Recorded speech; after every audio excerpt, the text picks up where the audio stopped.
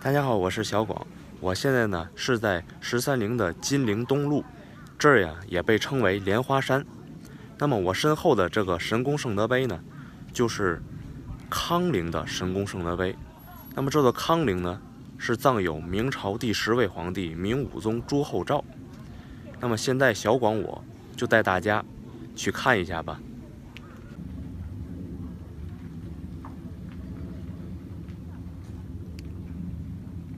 大家近处看一下这座康陵的神功圣德碑。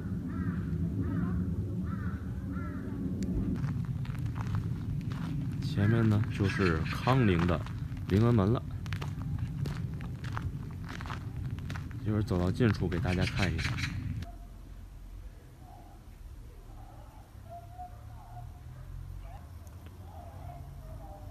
那么眼前呢就是康陵的灵恩门了。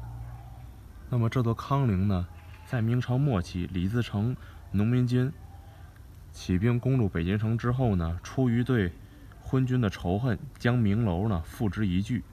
乾隆年间呢，对陵园呢曾经进行了修葺，明楼的四壁和陵恩门呢都被拆小改建。国民党时期呢，陵园更是频繁的遭到破坏，当地的土匪呢曾想在宝顶开挖盗洞，企图。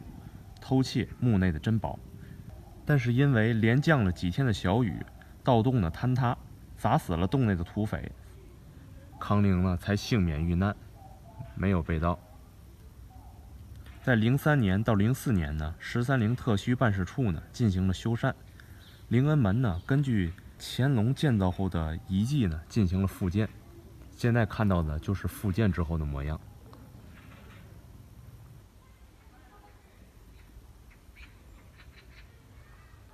武宗朱厚照呢，他是孝宗朱佑樘的长子，在弘治四年出生，弘治五年呢被立为了皇太子。在弘治十八年，孝宗驾崩，武宗呢得以即皇帝位，次年呢改元为正德。他的少时呢十分的聪慧，老师教他的东西呢总能很快的学会，但是在称帝之后呢却无心正事，玩物丧志。因为他的父亲孝宗呢，一生就只有他的母亲张皇后一位妻子，也只宠爱他一个人，所以呢，张皇后呢生下的两个儿子，次子朱厚伟呢早夭，所以呢，朱厚照呢就是朱佑樘的独苗，从小呢也是含着蜜罐长大的，被视为了掌上明珠。他在称帝后呢，不修朝政，荒淫失德。在孝宗临终的时候呢，曾特招大学士刘建、谢谦、李东阳到乾清宫，托以后事。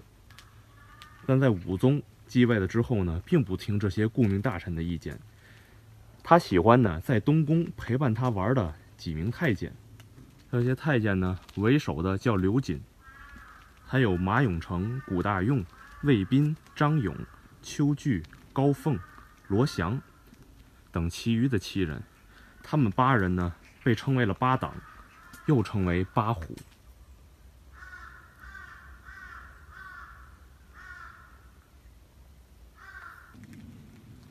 那么他们呢时常进贡一些奇特的玩具，还有像鹰犬、歌妓之类的，去供武宗享乐。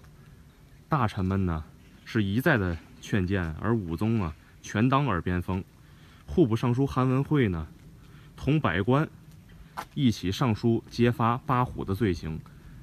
那么武宗呢，却将支持韩文惠的司礼监太监王悦贬到了南京充军，司礼监呢就由刘瑾所掌管了。刘健、谢谦等人呢，被迫辞了官。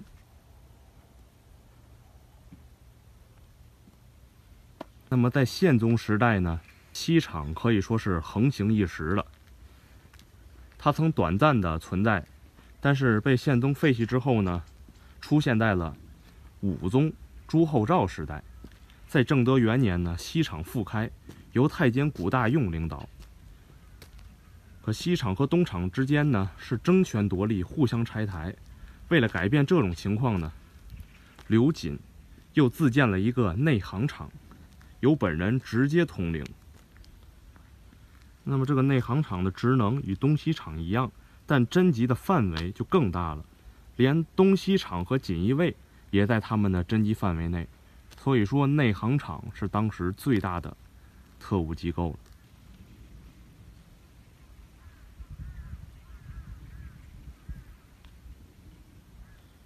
所以在武宗朱厚照在位的正德前期呢，东厂、西厂、锦衣卫、内行厂四大特务机构并存，引起了天下的骚动。所以在正德五年，由于刘瑾倒台，明武宗下令呢，撤销了西厂和内行厂。就这样呢，西厂作为一个临时的产品，就再也没有从历史出现过了。而内行厂呢，也永远的消失了。虽然内行厂仅仅存在了五年，但是它的权力可以说是比东厂、西厂和锦衣卫都要大。后来在正德五年的时候呢，八虎之一的张勇带头向武宗揭发了刘瑾的罪证，所以下令将刘瑾以反叛之罪判处凌迟。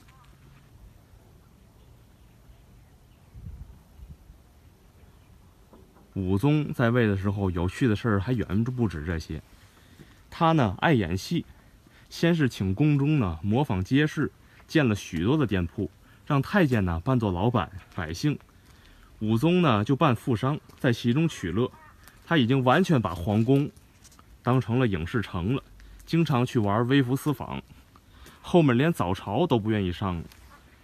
他也为后来的万历皇帝和嘉靖皇帝。经常长期罢朝，开了先河，而且呢，武宗觉得不过瘾，他还建了豹房，里面藏了许多的岳户美女，还有很多的珍禽野兽啊，天天供着武宗吃喝玩乐。而宣府的镇国府，则被他称之为家里。他曾下令啊，将豹房内的珍宝妇女运来，填充到了镇国府。似乎有常驻宣府的意思。那么这样做呢，也跟武宗尚武密不可分。首先，宣府呢是北边重要的军镇，它是抵御蒙古军入侵的第一道防线。武宗呢十分仰慕太祖朱元璋和成祖朱棣的武功，他盼望自己呢也能立下赫赫的军功，而且在宣府呢也不用听大臣们的喋喋不休了。所以他下令，大臣们一律不许来宣府，只有豹房的随从可以出入。然而呢，通过近些年的历史学界呢所研究，对武宗的认识呢也有所改变。武宗呢只不过是喜欢玩乐，有人认为呢他追求个性解放，追求自由平等，为人呢却平易近人，心地善良，是一个极具个性色彩的一位皇帝了。但是。他做大事呢，一点也不糊涂。而且武宗呢，不入大内，仍时常上朝听政、批答奏章，决定国家重大事情。不愿上朝呢，也会通过司礼监传达自己的圣旨，命内阁执行。即使远在宣府呢，他也特别强调奏章要一件不少的送到宣府。所以说，武宗的荒唐，但在大事上一点也不糊涂。他曾自封为镇国公、威武大将军，率明军五六万人击败了蒙古王子。而到回京之后呢，他自封为太师。在率五六万人抗击蒙古军取得胜利后呢，他指挥非常得当。而这场应州之役呢，也成为了武宗一生当中最高光的时刻。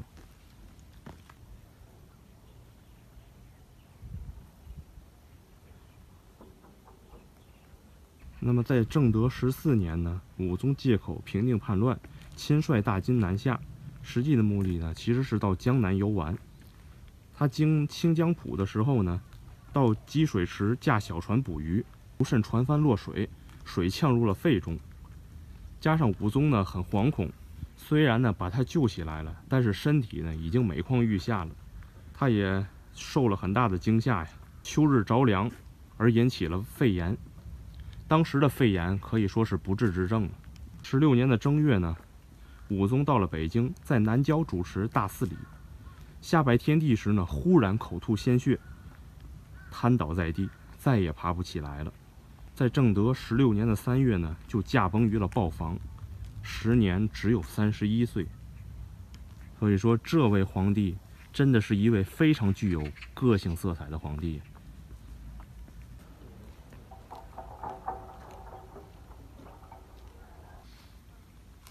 这座康陵的名楼可以说看得非常的清楚。